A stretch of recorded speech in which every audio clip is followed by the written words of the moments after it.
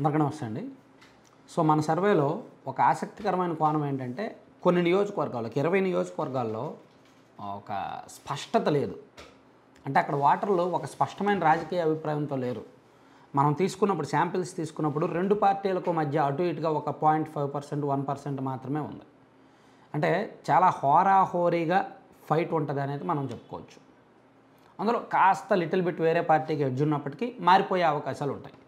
So ఒక ఇరవై నియోజకవర్గాలు అటువంటివి ఉన్నాయి. బాగా టఫ్ ఫైట్ ఉంటుంది హోరా హోరీ ఫైట్ ఉంటుంది అనుకునేవి సో ఉదాహరణకు నెల్లూరు రూరల్ నెల్లూరు రూరల్ మనం చెప్పుకున్నప్పుడు ఇక్కడ హోరా హోరాహోరీ పోర్ అయితే ఉంటుంది. దానికి కారణం ఏంటంటే పార్టీ పరంగా వైసీపీ బలంగా ఉంది. నాయకత్వ పరంగా అభ్యర్థిత్వం పరంగా స్- కోటంరెడ్డి శ్రీధర్ రెడ్డి గారు బలంగా ఉన్నారు.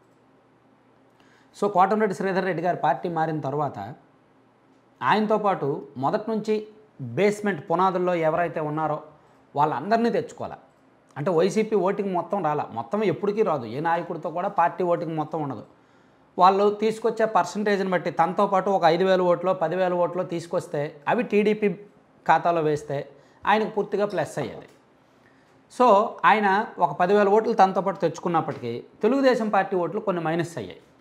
ఎందుకంటే గతంలో ఆయన చేసిన కొన్ని పొరపాట్లు ఆయన పేరు చెప్పుకొని ఆయన అనుచరులు చేసిన కొన్ని ఆగడాలు కొన్ని తప్పులు చాలా వ్యవహారాలు ఉన్నాయి అంతర్గత వ్యవహారాలు చాలానే ఉన్నాయి. గత నాలుగేళ్ళలో ఆయన చేసినవి. అంటే టీడీపీలోకి రావడానికి ఒక ఆరు నెలల ముందు క్రితం వరకు ఆయన ఆయన అనుచరులు ఆయన కొంతమంది మనుషులు చేసిన కారణంగా కొంత వ్యతిరేకత మూటగట్టుకున్నారు సో అది నిజానికి ఆయన కష్టపడుతున్నారు జనంలోకి తిరుగుతున్నాడు మంచి హార్డ్ వర్క్ చేస్తున్నారు టీం బలంగా ఉంది. ఈజీగా సులువుగా గెలవచ్చు. కానీ అక్కడ పార్టీ పరంగా మాత్రం వైసీపీ బలంగా ఉంది. ఆదాల ప్రభాకర్ రెడ్డి గారు కాకుండా మరో అభ్యర్థిని ఎవరైనా నెల్లూరు రూరల్ నుంచి పెడితే మాత్రం చాలా టఫ్ ఉండి వైసీపీ వైపు ఎడ్జ్ ఉండే అవకాశం అయితే ఉంటుంది. ఒకవేళ ఆదాల ప్రభాకర్ రెడ్డి గారి నిజం క్యాండిడేట్ అయితే కోటంరెడ్డి గారికి ఈజీ అవుద్ది. అయితే అక్కడ చిన్న చిన్న మార్పులు ఉంటాయి. నాకు నాకు ఒక ఇన్ఫర్మేషన్ ఏం తెలిసిందంటే ఆదాల ప్రభాకర్ రెడ్డి గారిని సర్వేపల్లి పంపించి సర్వేపల్లిలో ఉన్న మంత్రి కాకాని గారిని నెల్లూరు రూరల్ వేస్తారనే ఒక టాక్ ఉంది. అదే జరిగితే నెల్లూరు రూరల్ మళ్ళీ బాగా టఫ్ అయి వైసీపీ వైపు ఎడ్జు తిరుగుద్ది. అలా చాలా టఫ్ ఉంది. అలాగే పొంగనూరు నియోజకవర్గం కూడా హోరాహోరీగా ఉంది. వైసీపీకి ఏమంత ఈజీగా లేదు. యాంటీ వైసీపీ ఓట్ బ్యాంక్ ఎక్కువగా కనిపిస్తుంది అక్కడ. సో అలా అటువంటి నియోజకవర్గాలు కొన్ని ఉన్నాయి. అలాగే ఆళ్ళగడ్డ నియోజకవర్గం. పార్టీ పరంగా వైసీపీ యాక్టివ్గా కీలకంగా ఉన్నప్పటికీ లీడర్షిప్ ఫెయిల్యూర్ ఉంది. ఆ కారణంగా అక్కడ టీడీపీ సరైన అభ్యర్థిని ఎంపిక చేస్తే టీడీపీ ప్లస్ జనసేన సరైన అభ్యర్థిని ఎంపిక చేస్తే వైసీపీ నాయకత్వలేమి కారణంగా టీడీపీ ఖాతాలోకి వచ్చేసి వచ్చే ఛాన్స్ ఉంది. శ్రీకాళహస్తి కూడా. శ్రీకాళహస్తిలో పార్టీ పరంగా టీడీపీ ఓటింగ్ బాగుంది. వైసీపీ కూడా ధాటిగానే ఉంది.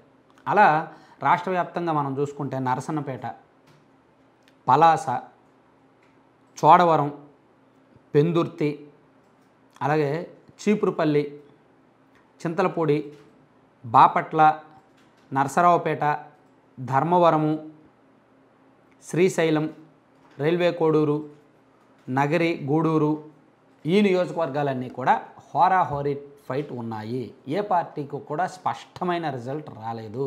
ఒక్కో నియోజకవర్గంలో ఒక్కో రకమైన వేరియేషన్ మనకు కనిపించింది. మనం హోరాహోరీగా ఉన్న చోటకి మరో టీంని మళ్ళీ పంపించాం. ఎందుకు ఇక్కడ అంత తేడా ఉంది? ఇప్పుడు నగరి ఉంది. నగరి యాక్చువల్గా హోరాహోరీగా ఉండకూడదు. తెలుగుదేశం పార్టీకి మంచి పాజిటివ్ ఉండాలి. ఎందుకంటే అక్కడ వైసీపీలో చీలుకుంది వైసీపీలో వర్గ విభేదాలు ఉన్నాయి రోజా గారి మీద వ్యతిరేకత ఉంది సో టీడీపీకి మంచి పాజిటివ్ అవ్వాలి.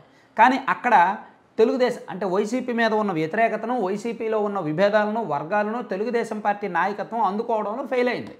సో అక్కడ మనం కొంతమంది ఇన్ఫ్లుయెన్సర్స్తో మాట్లాడుతున్నప్పుడు కొంత ఫీడ్బ్యాక్ ఇచ్చే వాళ్ళతో మాట్లాడుతున్నప్పుడు తెలుగుదేశం పార్టీ నాయకత్వం సరిగ్గా లేదు. అదే ఉంటే టీడీపీకి ఈజీగా పదిహేను వేల మెజార్టీతో రావాల్సిన సీట్ ఇది అనేటట్టు చెప్పారు. కానీ టీడీపీ లీడర్షిప్ సరిగ్గా లేని కారణంగా టీడీపీ గ్రౌండ్లో అంత యాక్టివ్గా లేని కారణంగా ఇది హోరాహోరీగా జరుగుద్ది నగిరి ఎన్నిక అని చెప్పుకోవచ్చు. అలాగే రైల్వే కోడూరు కూడా టీడీపీకి యాక్చువల్లీ బలం ఉన్నప్పటికీ సరైన లీడర్షిప్ లేకపోవడమే సమస్య. అలాగే ధర్మవరం నియోజకవర్గం కూడా అదే కోవలోకి వస్తుంది. వైసీపీ బలంగా ఉంది మంచి లీడర్షిప్ ఉంది టీడీపీ కూడా మంచి బలంగా ఉంది మంచి లీడర్షిప్ ఉంది. ఇక్కడ కూడా హోరాహోరీ ఫైట్ జరుగుద్ది.